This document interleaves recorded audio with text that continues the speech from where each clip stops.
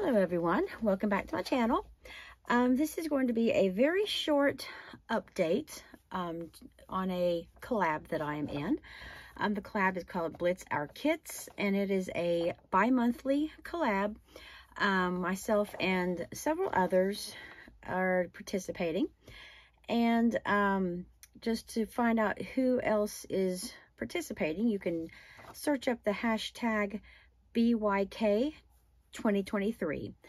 And um, that should bring up the videos for these collabs. Um, every month on the odd months, we share the kit that we're going to work with. And then the following month, on the even month, um, we show the finished projects that we were able to um, to create for the, that two-month period. And for the month of July and August, um, we were to use a kit that was animals or school themed. And I actually put kind of put a kit together um, with some ephemera packs and this Echo Park 12 by 12 paper pad called Animal Safari. Um, and I had some other bits and pieces that I kind of pulled from my um, craft stash that would coordinate with this. Um, I didn't actually use the other things that I had gathered up. Um, and it seems like this month of July was just super, super swamped, super busy. And also first part of August has been crazy as well. Um, with other, I've been working two jobs for the last few months. So finding crafting time has been a little bit difficult. But um, I do have um, a stack of cards because one of the um, stipulations was that if we made cards, we needed to try to have about 10, which I don't even think I did that. I'm thinking I have, me see, one, two, three, four, five, six, seven. Yeah, I had eight card bases that I grabbed, and I actually forgot about the fact that we needed to aim for 10 cards. Um, I actually made nine cards because one I already sent out in the mail to my brother for his birthday. You can go back on the 5th and look at my Fun Folds on the 5th um, video if you want to see that card that I made for him. Um, so I have eight cards here to share and let me go ahead and move this paper pad out of the way. Um, I had all kinds of plans of projects that I wanted to make. I really wanted to do a couple of altered notebooks, like composition books, um, I have a list here of things that I was wanting to do. So hopefully I can get around to making a few more things. I was wanting to make a couple altered composition books with some matching pins. Um, I was wanting to do like maybe some gift bags because I thought this paper would be really cute on like children's type projects. So I thought some fun gift bags, tags that match.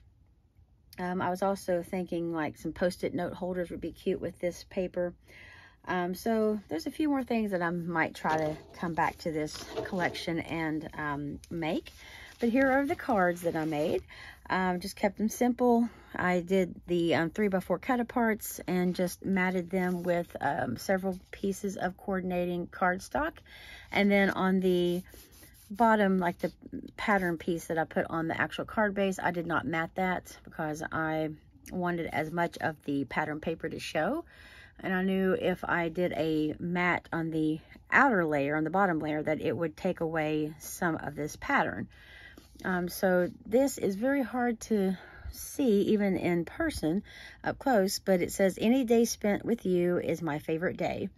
I thought that was really, really cute. This would be just a little cute little card to gift to somebody for like a birthday or any type of occasion. Just a thanking of you card. Um, if you wanted to give someone a thank you card for maybe, you know, just something they had done for you, um, this would be a cute little card. And I just added a few of my little Dollar Tree pearls, the little pearl stickers. And the next card um, just says adventure. And here I used one of the red and blue and green um, sticky back pearls. And all of these are blank on the inside, so that any kind of note can be put in there. Um, this says every day, every zoo is a petting zoo if you're brave enough. And then um, I just used some of the yellow colored um, gems from also from Dollar Tree. And this one Has a really pretty like floral design on the back. It's almost like a, a jungle um, pattern with some like really pretty red and yellow flowers and a bunch of like the vines and the um, big giant leaves that you would see like in the African or South American jungles. so there's that one. This one's adorable. Out of all the monkeys in the zoo, I choose you. That is really cute. I could see giving that to like a little, um, really young kid for the birthday. That's adorable. And then just went with a couple of red, or a couple of green and one red pearl up there in the corner, just to kind of coordinate with the collars and the cut apart. That is so adorable. And I love that plaid paper. I uh, kind of wish I had done the plaid with the majority of these cards, but I had already cut out a bunch of other patterns before I got to the plaid, and I love the plaid best of all. I think it would have matched with about most of these cut aparts. Now this one I really love as well. Um, just says zoo with all the cute animals on the front, and then a couple of yellow gems. And this background paper is um, sort of a bluish gray color and just has different safari animals like zebra, elephant, lion, giraffe, monkey. Just a lot of cute little animals. I wish that you could see more of that on the um, outside, but it is what it is. You still see enough of it to know what the pattern is. And then this one, um, just see you later alligator.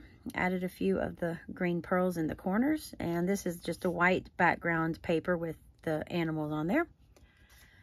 And then this one is really cute. Um, just, just says zoo entrance with the little family coming in. Added a little butterfly from the ephemera pack and just a few little blue pearls. And the last card, um, I did it this way. This one, um, this cut apart didn't have any kind of saying or, or writing on it. So I just took one of the little tags from the ephemera. Um, just says, see you later, alligator. And I turned the card this away so it would fit a little bit better. Added one of the banners from the ephemera pack. And added a few little red pearls. And love how that turned out. So that is what I was able to make. So just nine cards. So I'm kind of bummed about that. I was really hoping to get more made, but um, just had too much on my plate this last month and a half. Um, so uh, if you come back on September the 15th, and I will be sharing the kit I will be working with for September and October.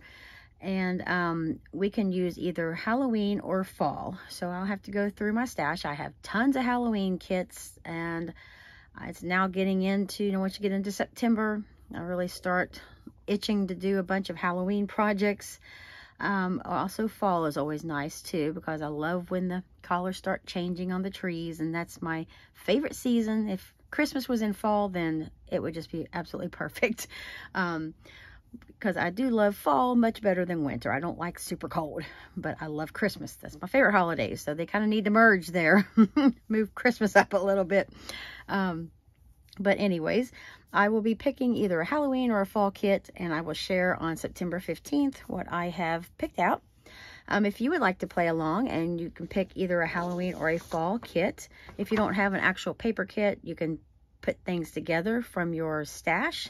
The only thing is with this collab, you cannot go out and purchase a new kit to use. It has to be something that you already have on hand. Um, you can just do hashtag Kitz Blitz 2023, which is K-I-T-Z B-L-I-T-Z 2023. And um, you can upload on the um, 15th of September and share what you're going to work with. So thank you everyone for stopping by and I will see everyone in my next video. Take care.